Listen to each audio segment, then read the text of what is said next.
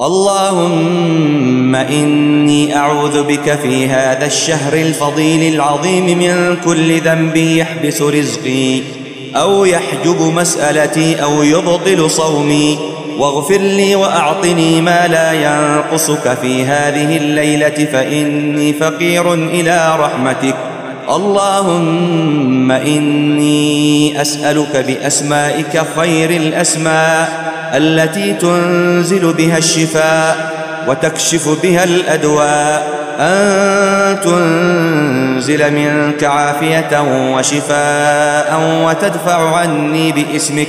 كل سقم وبلاء وتقبل صومي وتجعلني ممن صام وقام ورضيت عمله وتجعلني ممن صامت جوارحه وحفظ لسانه وترزقني عملا ترضاه وتمن علي إنك رؤوف رحيم.